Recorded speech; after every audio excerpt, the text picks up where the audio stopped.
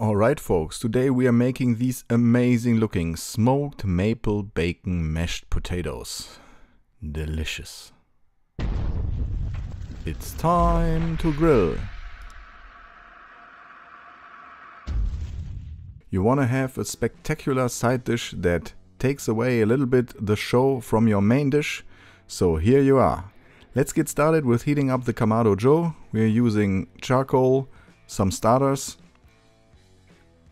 and after letting that burn, close the lid, open the vents and heat up your Kamado Joe to 130 to 140 degrees Celsius, which is approximately 380 degrees Fahrenheit.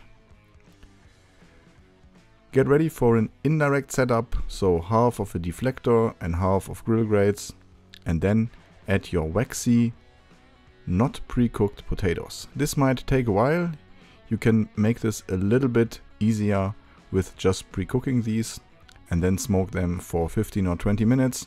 It depends on how many time you have. Smoke, I smoked them for 2 hours and after 2 hours the potatoes look like this.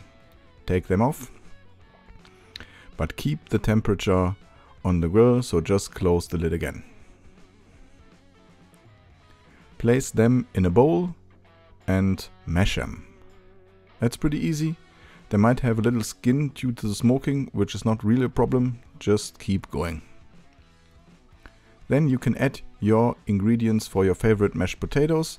We're adding two egg yolks, butter, cream, and instead of salt, pepper and nutmeg, we're using a barbecue rub today. A Pitmaster X barbecue rub, great stuff. Start mixing with a spoon and later keep on with the meshing tool. It already has interesting barbecue flavors and a nice yellow color. Place in a smaller bowl.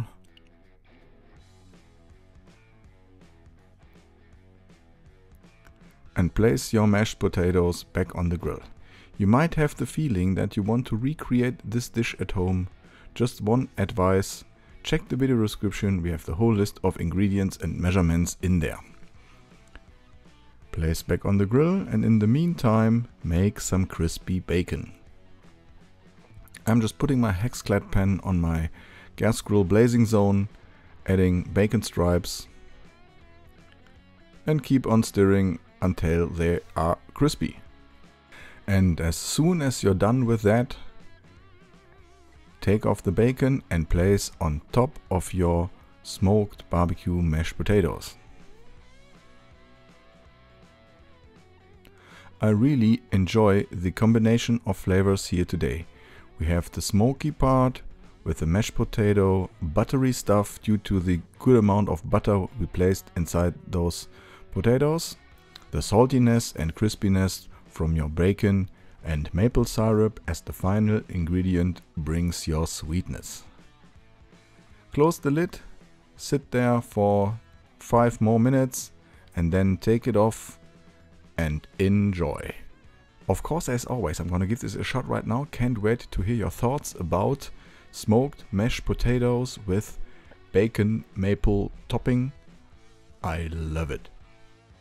Make sure to leave me a comment and like that video if you like it. Don't forget to subscribe to my channel. I would really appreciate your help with the 0815 Barbecue International channel. Anyway, thanks for watching. I'm out. See you.